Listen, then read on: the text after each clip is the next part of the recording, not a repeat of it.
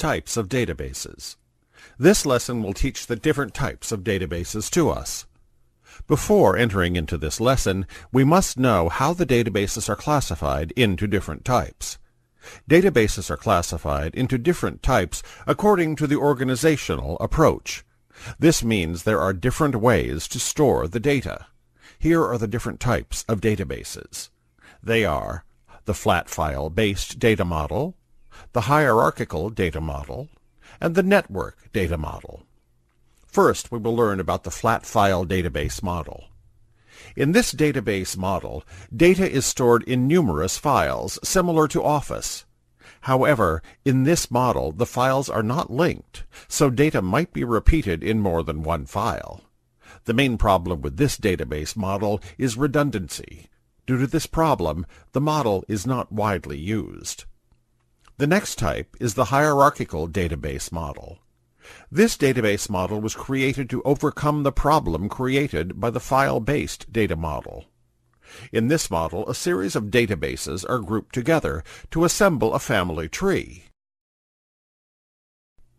In this family tree, each box in the tree represents one database. In this tree, the top database is called the parent database. The databases below the parent database are called the child databases. In this model, one parent can have many children, but a child can have only one parent. The child databases are all connected to the parent database via links called pointers. The main problem with this database is that the search for data is extremely difficult. To find a particular piece of data in this database takes a lot of time, so this model has failed. The network database model. The network database model was designed to reduce the problem caused by the hierarchical data model. Unlike the hierarchical database model, this model allows more links between the child databases. It was created not only to reduce the chance of redundant data, but also to make searching for data much easier. As shown in this figure of the network model, a child database can have more than one parent.